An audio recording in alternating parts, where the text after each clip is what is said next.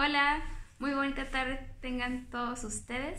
Hoy vengo de nuevo en colaboración con mi amiga Cristi Latina a compartir con ustedes cuál es nuestro perfume de costo más elevado y el perfume más económico que tenemos en nuestra colección. Y les vamos a decir si el costo eh, vale la pena en cada perfume y si nuestro perfume más económico realmente su precio muestra lo que es el perfume, ¿no? Bueno, eh, yo espero que cuando terminen este video, por favor pasen al video de mi amiga Cristi Latina para que vean qué perfume tienen toda su colección que considera que es el más costoso y cuál es el más económico, ¿no? Bueno, yo les quiero comenzar a comentarles cuál es mi perfume más costoso.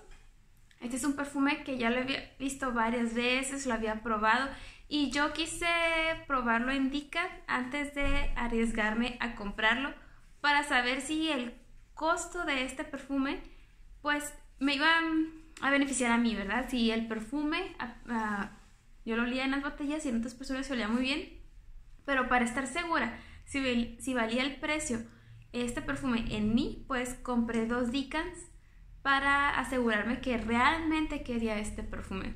Y pues no sé si ya lo sepan, pero mi perfume más costoso ha sido Flower Bomb de Victor Rolf.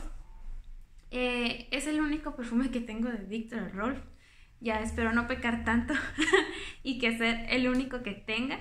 Esta es la presentación de 100 mililitros. La botella es muy bonita. Hay otra que es de 30 mililitros y es muy muy bonita la presentación.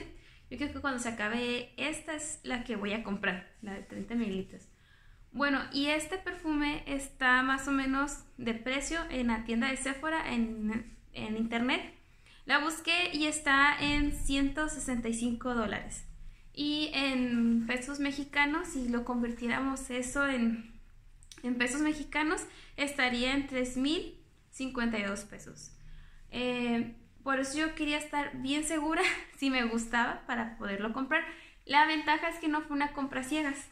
Fue una compra que ya había averiguado, que ya había estado al pendiente incluso de cuándo lo iba a encontrar un poco más económico. Eh, yo pensé que mi perfume más costoso iba a ser uno de Chanel, pero no. Victor Rolf es un poco más costoso que Chanel. Y pues la pregunta, ¿no? ¿Vale la pena? Sí. O sea, para mí sí vale la pena este perfume para mí el aroma, cómo queda en mi piel, la duración que tiene, wow, es un perfume que, que sí, o sea, que es de mi estilo, que me fascinó, que mi piel proyecta muy bien, que a mi esposo le encanta, que a otras personas también les ha agradado cuando lo sienten en mi piel. Entonces, para mí sí fue una buena inversión, sí fue un, buen gasto, sí, sí vale la pena este perfume. Pero como es un perfume de alto precio, yo te recomiendo siempre pruébalo en piel para que no te vas a arrepentir de, eh, de una fragancia que es demasiado costosa. Por lo menos para mí es costosa. Yo sé que hay personas que tienen perfumes de línea de lujo que son más costosos que pueden ir de un precio más elevado, pero en mi colección yo creo que esto sería lo máximo que estaría dispuesto a gastar en un perfume. Tal vez tú dices, ah, yo estoy dispuesta a gastar un poquito más en un perfume, tengo la posibilidad o eh, este, para, yo sientes que es una buena inversión, pero yo siento que eso sería lo máximo ahorita que yo estaría dispuesta a gastar en un perfume. Lo máximo es lo que costó esto Flower Bomb y yo creo que no, no aumentaría de precio eh, otra compra que yo tuviera, no, no, no se acerca tal vez ni lo que cuesta este, ¿no? Así que, pues sí, yo, para mí sí vale la pena, no estoy arrepentida de, este perfume. huele riquísimo, como les digo, siempre estaba así al pendiente, al pendiente cuando lo iba a encontrar más económico. Y si tú eres una persona que quiere dar un buen regalo a su pareja, este es un grandioso perfume. Y lo que me gusta también de este aroma es que es muy llevadero tanto en invierno como en verano. Así que eh, perfecto mi piel. Y si tú lo quieres comprar por su costo tan elevado, yo te recomiendo que no lo compres a ciegas. Primero, eh, apruébalo en piel. en diferentes situaciones, en ambientes cerrados, abiertos, para ver si costea este perfume, porque siento yo que no hubiera gastado tanto si fuera un perfume que nada más lo pudiera comprar o usar, perdón, en verano o nada más usarlo en invierno. Y como esto siento que se puede usar en cualquier eh, época del año, pues Flower Bomb más costoso en mi colección. Bueno, ahora vamos a ir al perfume más económico y este yo lo conocí porque mi mamá me tuvo el detalle de regalarme eh, la primera botella que tuve de este perfume. Y es un aroma que me gusta muchísimo porque parece, realmente parece, uno de alto, de alto costo, uno de diseñador y uno de una marca en específico. Y ya se los he mostrado en, en otros videos y es Dove Nature de Jafra. Este fue el frasco que me regaló mi mamá este es el de 100 mililitros. Si ven, pues ya lo llevo bastante gastadito.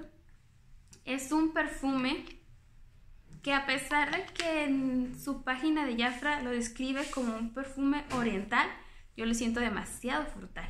Muy, muy frutal.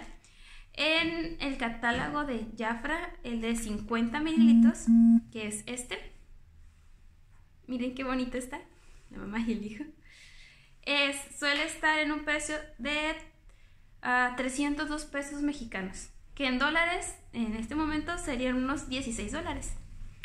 Eh, yo sé que a veces están en promoción, están más económicos, así que pues qué padre que es, hasta los puedes encontrar más económicos.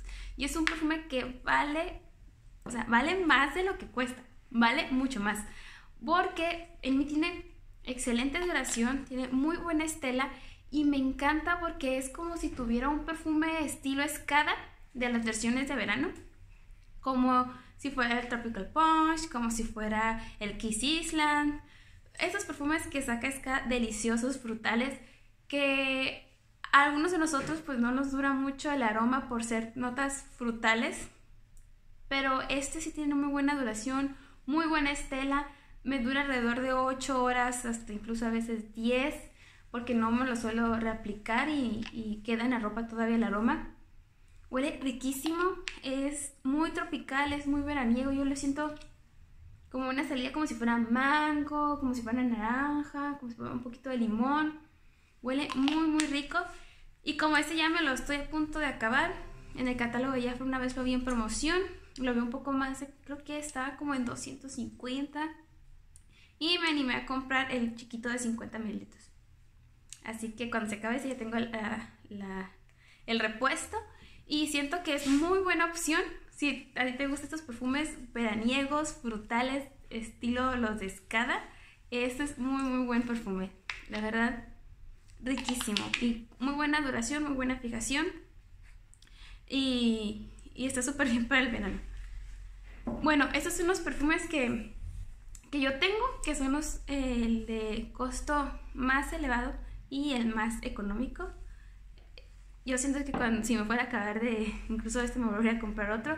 Y tengo, compré otro, tengo otro tercero, porque lo voy a regalar a una amiga que estimo mucho y que sé que le gusta este tipo de perfumes.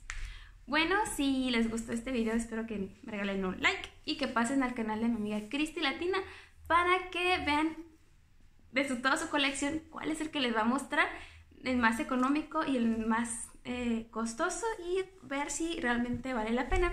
Nos estamos viendo en otro video. Bye.